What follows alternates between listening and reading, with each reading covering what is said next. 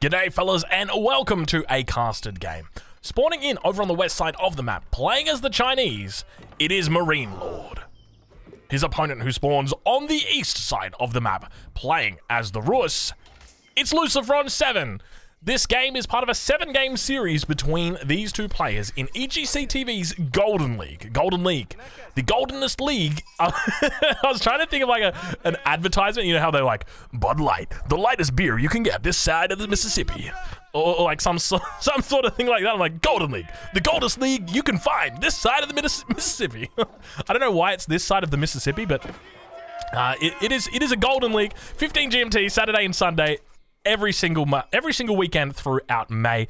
Uh, so make sure you check it out if you haven't already. But let's talk a little bit about this game, a little bit about what we expect to happen today, because we have got a matchup that I'm familiar with, and I'll be honest with you, it normally scares me, mainly because it's like whenever you play on what what was that?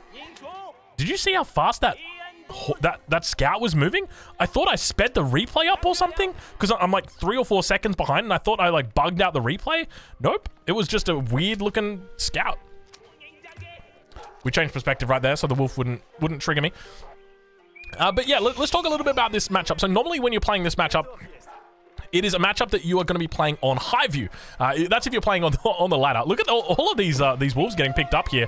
Lucifer doing a, a pretty poor job of, of getting the wolves Rather, Marine Lord just doing a, a, better job. You can see that, that one getting close to being picked off, and Marine Lord seals the, the fate for that one.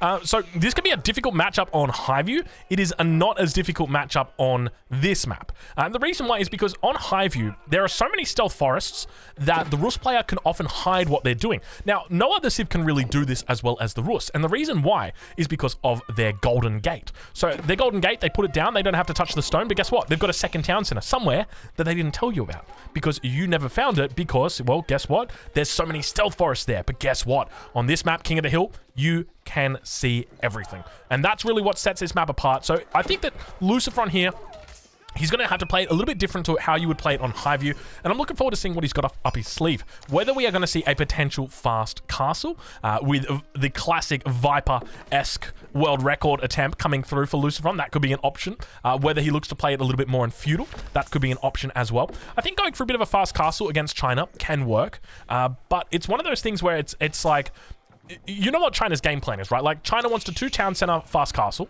that that's essentially how China wants to play.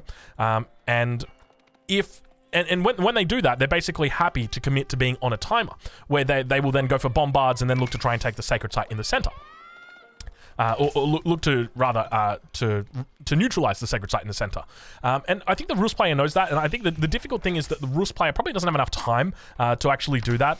Um, so I'm curious to see exactly how he's going to play it because Lucifron, this is his home map, and so he's definitely got a plan picked out. Um, and you would have expected China to be in the cards here for Marine Lord. So we'll check in with Marine Lord. We'll see how he's doing because he's going to start gathering up wood on the backside here, very far away uh, from his uh, from his town center. But remember that Imperial Academy, when it comes down, smack bang right here and it is in between both of these two and it's feeling really good it is a really really nice uh, imperial academy spot there the other alternative was this wood line up towards the front um, and you can try and put the imperial academy here but you can see it's a very small wood line you're talking 18 trees versus 60 trees 136 trees 217 trees there's a lot there's a lot of trees barbican gonna be coming down though or is this a wall? No, I think this is Barbican here, right? He's not going to Barbican the center. He'll just Barbican right here.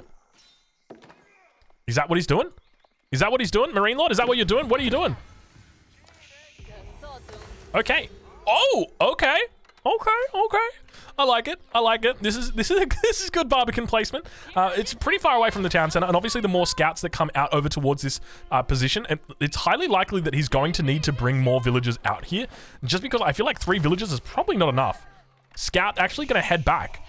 Wait, is he? He's not contesting it? Oh, he's not contesting it. He's not going to contest it. Okay, interesting.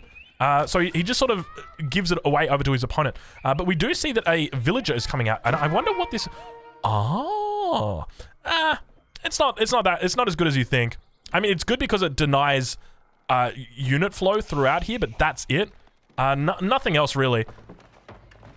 Because all, all that's going to happen is is Marine Lord just makes a mill over on these on on these right here, and then he just drops a town center right there. Beautiful timing there for Marine Lord already. We can see he's just going to cancel that wall, prevent it from even going down. And now that villager is going to be wasted. You can see he's, he's kind of protecting protecting it uh, with the scout, so doing a good job in that regard.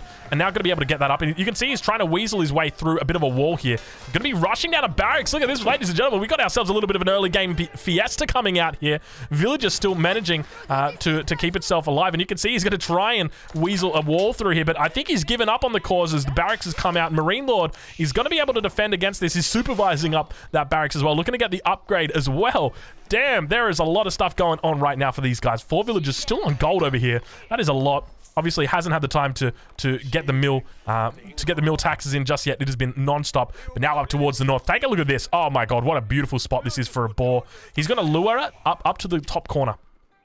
All eight villagers come up over here. They're going to kill it right next to it, and then they're going to make a hunting cabin against the edge. He's got to be careful not to lose a villager. That one's going to be kept back. Second one's going to be coming out. A little bit of a raid back there. One scout going down. He's going to be careful. That villager came down, down to about, what was that? Jeez, five health. That's a lot of that's a lot of damage. 20 health on that one. Uh, but uh, yeah, Marine Lord at this point in time, uh, he's going to be struggling because he's going up against a very heavy scout opening, uh, which is always difficult to deal with. You can see that he's got spearmen uh, to try and uh, fend these off, uh, but still he's going to be struggling. And now we can actually see that the spearman is moving out across the map. He's looking to try and cause some sort of havoc. Wheelbarrows come through for Marine Lord as well. Quite an early wheelbarrow, 623. Still no dynasty for Marine Lord at this point in time. Still no second town center. So I can't help but feel that Marine Lord is behind where he wants to be. Ideally, right now, at this point, 6 minutes 30 into the game, second town center and dynasty should be up for him. Uh, and it's not. So it, it's it, it is one of those things that really starts to hurt, and, and, he's quite behind. And obviously that, that has been because primarily of the the barracks that gets forced out because of this, uh, the, the early scouts harassing down here. There are a lot of contributing factors.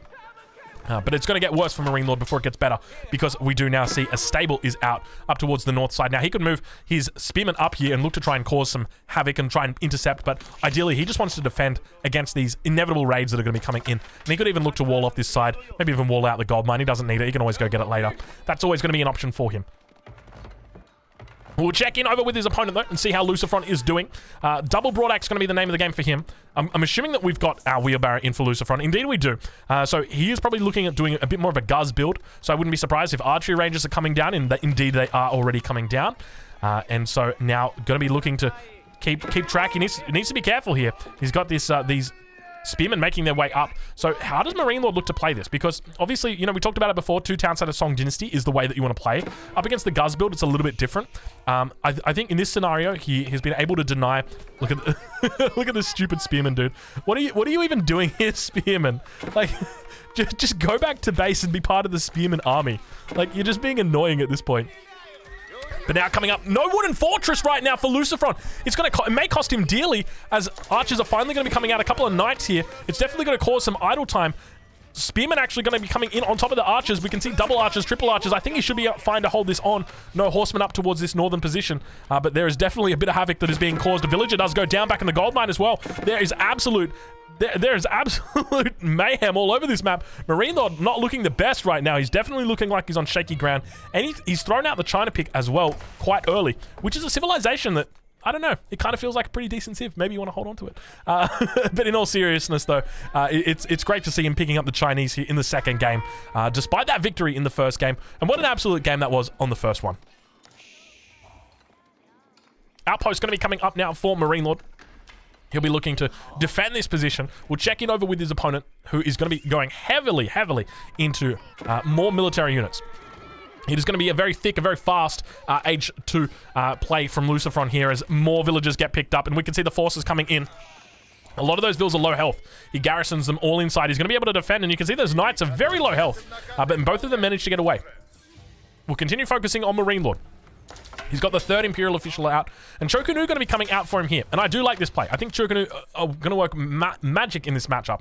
I think they're very, very effective uh, against the Rus player. Just because the Rus player, you can almost be certain that they want to go into an Archer ball, and Chokunu, incredibly effective against Archers just because of the way that they trade. As you can see here, they're doing 12 damage versus the 5 damage of these Archers. So it's a big difference between the two. But the food source for Marine Lord, it is secured. It is well and truly secured. If he wants to move out towards this position, I suspect it's not going to be the case going for a stable. Very interesting. So going for a 1-1-1 build order here. This is very curious. Normally, I would have expected him just to go into a very heavy Choku Nu play. Uh, but not going to be the case here, and cancelling up a couple of them that were in the queue. Blacksmith going to be coming down, looking to get that plus one upgrade. In hand cannon slits coming through. Uh, we'll check in over with Lucifron and see how he's doing. As he's looking to try and put down, I would suspect, a wooden fortress on this front line. Try and get a bit of vision into the base of Marine Lord. See exactly what he's up against. Oh, he's going to chop through. He's going to chop through. You naughty little, you naughty little Lucifron chopping through. I don't know if, uh, uh, okay, Marine Lord does see this, but he's not applying any pressure up here. Now he sees it. Now he sees it. And he's like, oh shit. Oh shit. He can he can deny the Vil. Oh my god, that damage. If he had one more in there, he would have got it. You can see that the delicate balance right here, trying to get through that villager. He's just going to leave it back there idle, maybe 15, 20 seconds, then bring it back in. Okay, he's just going to go for it now. He's going to go for the chop, leave the archers right on top. It's hard for him to click on it. He knows that they're in there, but he, he knows that he's not going to be able to defend this position for much longer. And Lucifron, he's looking very good, very healthy at this point. Wooden Fortress now coming down for him. Going to be able to chop through, stop this gold mine from being gathered. Keep in mind those hand cannon slits exist up there. He, he could be able to just to come back up here and, and drop the uh, the um, the, the mining camp up here and then mine from this gold. It wouldn't be a bad idea. Uh, there's a lot of range on that, but now you can see he's beginning to exhaust these food sources that are in the base, so he'll be looking to extend out down towards his south side. And more and more units coming in now for Lucifer, and I suspect we got plus one ranged armor. We do have plus one ranged armor. Uh, plus one ranged attack probably going to be coming through after that uh, for Marine Lord. And uh, he's got plenty of gold in the bank. So, yeah, we can see that it is plus one ranged attack coming through uh, for him as well. So everything that Marine Lord is doing at this point is looking right. Uh, my main concern is that there's not enough there's not enough Choku Nu coming out. Uh, because Choku Nu, very, very strong in this matchup especially. Uh, up against the Knights, you might think that they don't do that well. Well, consider the fact that they've only got three armor. Uh, and the Choku is going to have five attack. As long as that plus one armor isn't in. Once that plus one armor comes in, it's a different ball game. We'll check over with Lucifron and see how he's doing. Whether he's got that upgrade through just yet. He doesn't. He doesn't have Iron Undermesh just yet. And that can be dangerous for him. Because Marine Lord can push through and do a lot of damage. But 31 archers now coming out for Lucifron.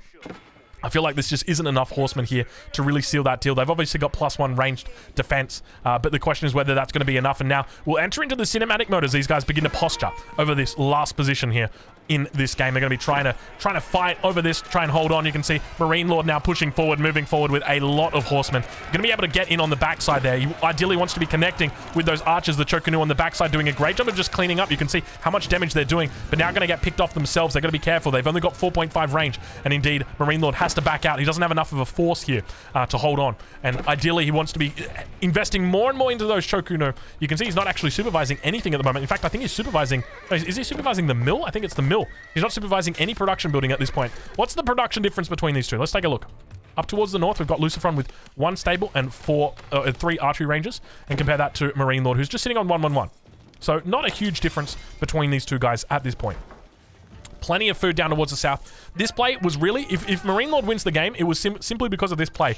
Securing his food that is exactly, you know, what you got to do to win this game. It, it, can be very, very difficult for you. But now pushing around the edge of the map, you can see the town center just firing off, doing what it does does best. Now, keep in mind, behind uh, on this entire time, Marine Lord is on Song Dynasty. So he's on 47 villages right now. Lucifron is on 43, so he's got he's got a villager gain, a villager in increase that's happening through here. Lance is moving out, running a bit of a screen, going to be able to take out the first horseman. Choku Nu continuing to come up the rear with the gear. Still yet to get that plus two, uh, plus one ranged armor in. Now going to have to fall back once again. This mass is really looking quite weaselly for him. He's got to be very careful. Ideally, you'd love to see a bigger mass. I can't say it enough. I feel like I just re I'm repeating myself at this point. Just make more Choku Nu Lucifron. Or rather, uh, Marine Lord. Yeah, that, that's the guy, man. But uh, now we'll take a look over on the other side. We'll see what Lucifron is up to. He's just going to be gathering from his deer. Obviously, has exhausted that boar up towards the north. There is a second boar down towards the south. It's going to require a bit of APM if he wants to actually take it out. Uh, he's sitting on 355 bounty at the moment, so not a bad amount of bounty, but obviously not the best. Um, he's still going to have access to a potential um, great uh, a high trade house back here. Choku Nu moving forward. Look at the damage that comes out against them. And we do have an age 3 coming through, but it's not going to be the high trade house that he goes for. Instead, it is going to be a... There it is. The Abbey of the Trinity is going to be what he goes for here. So probably going to be looking to secure up the center. That's going to be his first bet. Let's capture the center, take the take the relic, and then go back to base. That's going to be your first trip. Horsemen moving around the edge of the map. Marine Lord going to be finding some villagers out on these berry patches. Indeed, he does spot them, and also we see Lucifron actually spotting them himself, uh, so knows that, uh, that that raid was indeed coming, and now looking to try and do some damage. But unfortunately, these villagers they do run very quickly. I don't know, They've got the wheelbarrow, right? Yeah, they got their wheelbarrow. Nice little push coming through here. Lucifron definitely going to be trying to dish out some damage. He reaches Castle Age, and with this, Marine Lord definitely going to be in a bit of a tough spot. Because now the question is for Marine Lord, you know, wh where does he go from here? The answer is obviously Castle Age. Uh, but, you know, is he going to be able to hold on against this, this composition that his enemy's got? The, the sufficient, or the significant uh, military mass is is definitely starting to play a big part in in the story of this game here because Marine Lord is stuck between a rock and a hard place. You know, the rock being the, this wall that he's put up for himself, and the hard place being his enemy that continues to push in from the front. Villagers, for whatever reason, sieging down this wall. This is a misclick and a half if I've ever seen one. There are, is no reason why these villagers should be sieging down this wall segment right here. This is 100% a mistake. I think he may have misclicked on a... Is there a deer underneath there? Or did they go idle? Maybe they went idle. I'm not sure exactly why this is, but this is a massive mistake. He, he essentially has 11 idle villagers. Chokunu moving forward. You can see how much damage they're able to do, pushing forward. Actually get, getting a nice little cleanup right here. At the same time, a bit of a raid back towards the wood line. He's got plenty of lumber camps in there. You got to love what he's doing back there. Now continuing to push forward. Arrow slit's not yet in, but hold on. I think Springald's through. Yeah, the Springald is through now for uh, for Lucifron. Marine Lord definitely going to be in a tough spot here. He continues pushing forward, and all of these units are probably going to be going down just because they're stuck between uh, stuck between a, a, wooden fortress and a hard place, being the knights and the lances that they've got. And now they've got their. This is where it starts to get hard because these guys are upgraded, uh, so they get that, that extra armor. And now Marine Lord going to be chased away. Landmark going up. Still hasn't realized. Still hasn't realized his villagers down here. I think he just realized then. Why? Why did he? He, he? It was almost like he took it down with intent. What was that? Why? I need to know. I need to know. Somebody reach out to Marine Lord, tweet him, message him on Instagram, get his Snapchat. Be like, Marine Lord, why did you siege down the wall segment with 11 villagers on King of the Hill? What were you doing, Marine Lord? why? I, I, I genuinely don't know. I'm clueless. Marine Lord now aging up, age 3 coming through for him. Do we see the nest of bees coming out? You would expect it's probably going to be the case with a force this big. Probably looks to going to Palace Guards as well as um, Spearmen and then a whole bunch of nest of bees. But obviously Sacred Victory is going to be on the cards as well. So it might mean you have to think about a Trebuchet potentially. We see that big beautiful message in the screen. Just in case you missed it, they, they display it for you in uh, in extra big writing. Uh, why, why, is it so big? Get off my screen, dude. Oh my god. Uh, maybe if you're playing the game, sure, but like if you're casting the game, get off my screen, man. It's so big. You're so obnoxious. Neutralize the sacred site. Like, okay, all right, sure. I'll I'll I'll tell I'll tell I'll tell Marine Lord to do it. But now Marine Lord looking to get those upgrades. Chokunu going to be coming through, as well as Veteran Spearman. Also going ba balanced, ah, balanced projectiles. Now, one of the things to note here is that the dynamic between plus two ranged armor, which is exactly what Red Riv Wedge Rivets is going to be giving him, uh, is going to mean that these Lancers, or these Knights, take almost no damage from the Chokunu. And so I always posit that it's it can because of how long castle ages typically go, in my opinion, I don't think Chokunu really that worth it in Castle Age. In, in, Imperial, they're definitely worth it. In Feudal extended fights, they're definitely worth it. But in Castle, I feel like they definitely they fall off a bit. Just because in Imperial they get the incendiary arrows. That's what sets them apart. That's what makes them different. Um, but uh, but now those knights going to be coming through. They've got their plus two. And you can see that the, the they've got they've technically got as much uh, armor as the Chokunu have got damage. They're going to be able to trade out pretty effectively with the veteran archers, though. He's going to need some spears in here. The spearmen going to get so easily picked off. The big mass, the huge mass, rather, of archers. But now, hold on a minute. Nest of Bees is out, and we got some damage coming down on the dance floor, so a lot of those archers do go down. Nest of Bees doing what it does best and holding on for dear life. At the same time, that battering ram still looking to try and take down that main town center. Gold going to become a bit of an issue here now for Marine Lord because all of a sudden it's starting to you're starting to work out like hold on, Marine Lord's got lots of wood in the bank, but where's all the gold? Where's all the gold? He's got plenty of gold up here, but he just can't access it. He can't get over there. He needs whether he needs like outposts or keeps or something. He needs he just needs something. But now we see all of the units going to be working to focus down this battering ram. Behind this, Lucifron is taking all of the relics. And keep in mind, this whole time, Marine Lord has been on one town center.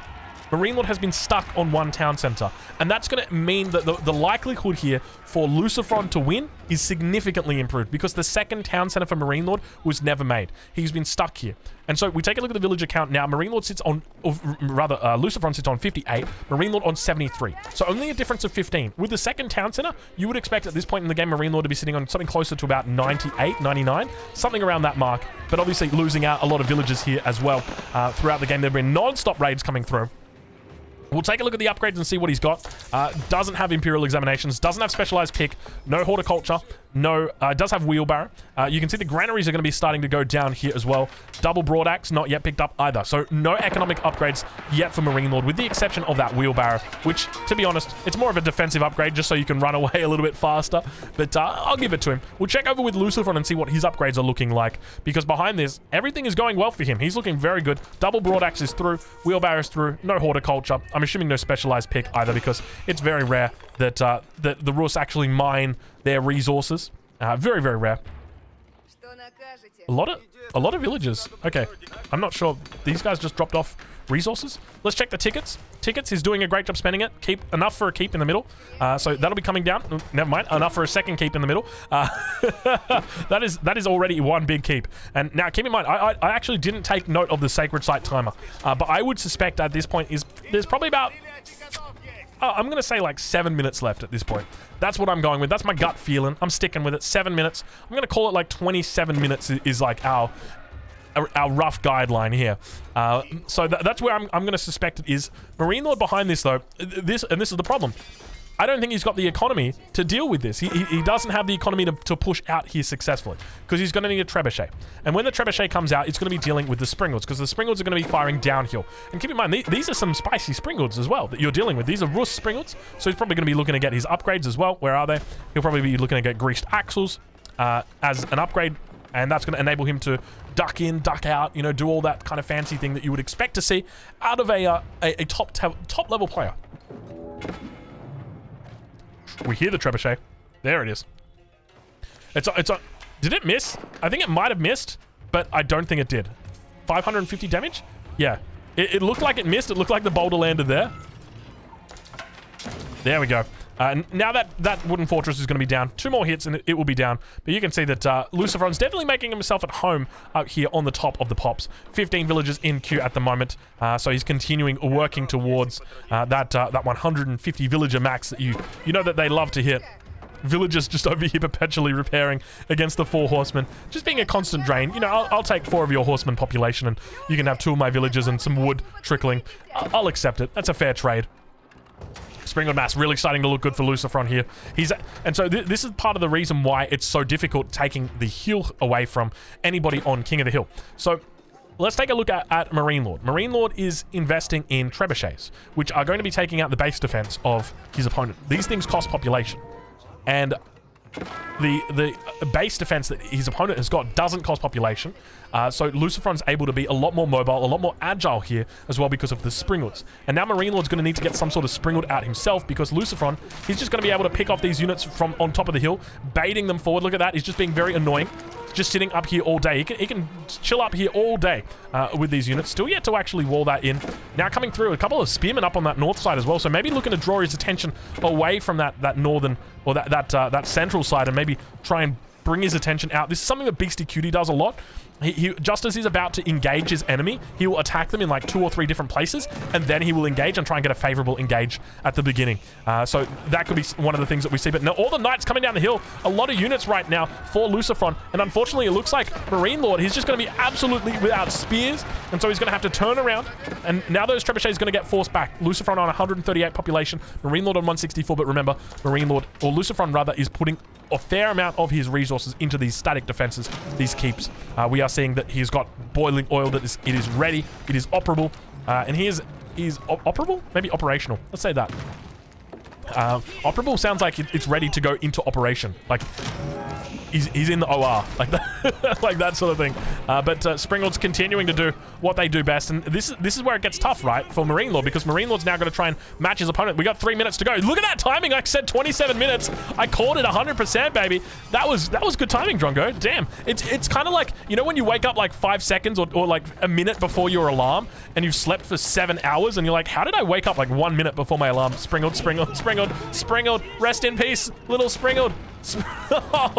it's not going well right now for Marine Lord. This is a really tough spot. Honestly, Lucifron's played this very well, but by the same token, I feel like Marine Lord, he just, he just unfortunately didn't ever get that second town center up, and it would have been hard for him to hold had he had he gone for a second town center. It didn't look like he was ever in a position to go for it, but without taking that second town, town center, he never has a win condition, and that's the thing. Like right now is when that second town center would be coming through, because he could be he could be Imperial, he could be with Bombards, he could be with Pyrotechnics, all that good stuff. 24 minutes, you know, that's pretty deep into the game, um, but it's obviously not the case here. He's got he's sticking with trebuchets. Four trebs are going to be the way that he plays it, and you can see just this kiting. I remember watching that Muslim game against Serral on uh, Hill and Dale, where he played the as the as the Rus, and he had the Springald sitting behind the uh, the palisade walls, the fortified palisade walls, and he kept building them, and he would move up and build more, build up, move more. It was just it was disgusting. I loved it.